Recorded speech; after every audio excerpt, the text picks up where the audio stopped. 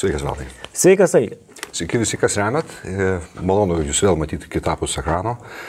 E, Liga siaučia, mes rašinėjom su Valdu šitą laidą antradienį. E, Audrius, matyt, pasigavo viršutinių kvepavimo takų infekciją, kaip ir aš, aš ant antibiotikų, Audrius atsisako jos gerti, jūs paraginkit, kad gertų, aš turiu moksiklavo visą dėžę. Tu nesus... nesirgi, ne? Dar ne. Tai gerai. Aš to COVID tikrinausi čia, kai pradėjau kosę, tai neturiu, viskas turkuoja, nebijok manęs. Gerai, nebijau. Gerai, tai šiandien Izraelis. Šiandien pradžia apie Izraelį. Jo, čia kažkaip mes tą pajudinom antrą 20 amžiaus pusę. Na ir, ir šitie konfliktai, Izraelio arabų konfliktas, taip reiktų jį vardinti, jis, manau, pareikalos kokių 3-4 laidų. Pažiūrėsim, kaip mums seksis. Puikiai. Nes tikrai nesinori painioti kelių karų į vieną vietą, nes tada susimuša viskas ten mhm. darosi neaišku. O jie visi yra unikalūs, skirtingi ir tuo pačiu šiek tiek panašus. Mhm.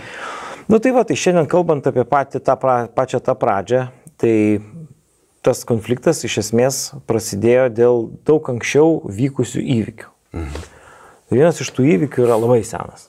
Tai yra 70-ieji metai po Kristaus gimimo, kada uh, žydai padarė sukilimą prieš romėnus ir romėnai juos išblaškė po visą imperiją. Tiesiog išdrastė visur, kad jų nebūtų. Mhm. Nes jau matyti, ne pirmas tas sukilimas buvo. Ir tokiu būdu prasidėjo tokiai, nu, vos ne 2000 metų trukęs žydų gyvenimas visur, kur tik tai ne jų gimtojo žemė. Na tai čia ne vienai tokiai tautai taip ir atsitikė, bet, bet, bet žydam taip teko rimtai ir per tą išsiblaškimą jie iš tikrųjų nu, labai turi kur išsiblaškė. Kas Afrikoje gyveno, kas gyveno Europoje, kas gyveno Vakarų Europoje, kas gyveno čia Lietuvoje, nu visur.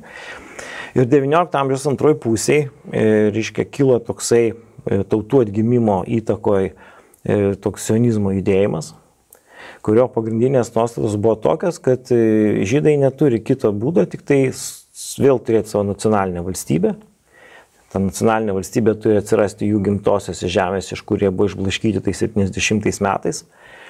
Ir ten neturi visokiais įmanomais būdais sukurti valstybę, kuri taps visų žydų prieglupščių, nuo visokių persiekimų, nuo neteisybių ir nuo visokių kitų dalykų.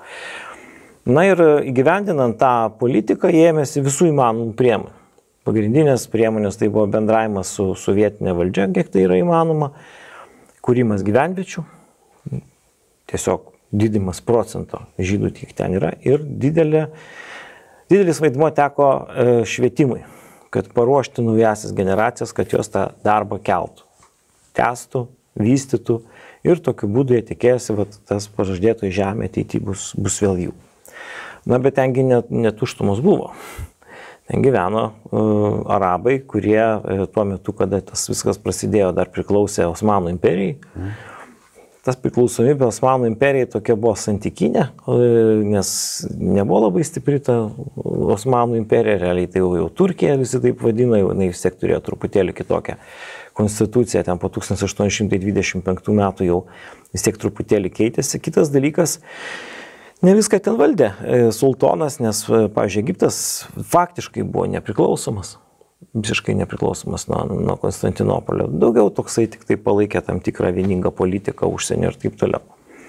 Tai va, bet e, jam pavyko jau nemažai žmonių ir prieš pirmą pasaulinį karą ten apsigyventi. Bet pirmas pasaulinis karas, kai prasidėjo, tai nu, mums visą laiką atrodo, čia pas mus vyksta vakarų fronte, bet ir kitko labai rimtos kovos vyko dabartiniai Irako teritorijai, Na ir taip pat, taip pat prie, prie Sueco kanalo, kuris Britam, aišku, čia buvo labai esminis.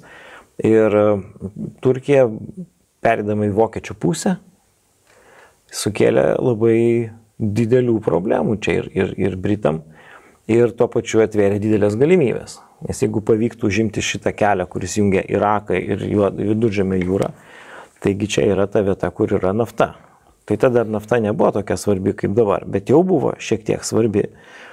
Ir žinoma, kova dėl šitų teritorijų buvo svarbi ir, ir, ir Britų, sakykime, vietinė vadovybė susitarė su arabų vadais, kad jeigu jie paremtų jų kovą prieš turkus, tai jie tikrai gaus nepriklausomybę ir turės na, na, nepriklausomas arabų šalis. Mhm. Toks atsutarimas buvo. Čia tas Lorenzas, reiškia Arabijos, čia yra vienas iš tų autorių šitų visų susitarimų. Nu, bet ne visai tai paėjo, e, kada pavyko vis tik tą karą laimėti, Turkija tą karą pralošė ir tos teritorijos iš tikrųjų iš jos buvo atimtos, tai Britai kažkaip su prancūzais pasitarę nusprendė, kad gal nereiktų čia visiškai jų nepriklausomų palikti. Na, bet vis tik tai įsteigė va tokią kaip ir nepriklausomą valstybę Transjordaniją. O čia jau jie tarsi, tarsi ją ir sukūrė, viešai sakydami, kad yra nepriklausoma. Na, šiek tiek kontroliuodami vis tiek, kas ten darosi, nepalikdami visiškai taip, kaip buvo. Na ir tokiu būdu visos to žemės atiteko taip vadinamam e, Britų, Britų mandatui. Tai Sirija atiteko prancūzam, reiškia, o čia į pietus jau atiteko Britam.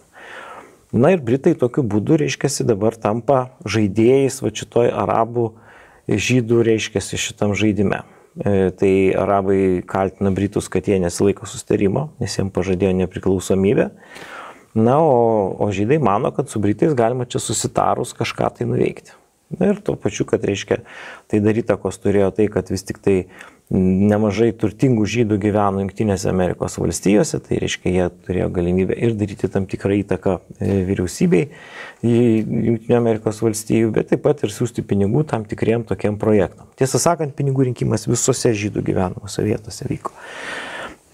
Jis turėjo tokį, tokį resursą, na ir taip pat vis sekančios tokios kolonistų kartos atvykdavo į Izraelį ir ten apsigyvendavo, reiškia, arba miestuose atskiruose kvartaluose, arba sumišai su arabais, kai kur visiškai sumišai, tarp labai gerai sugyveno kai kuriuose vietose.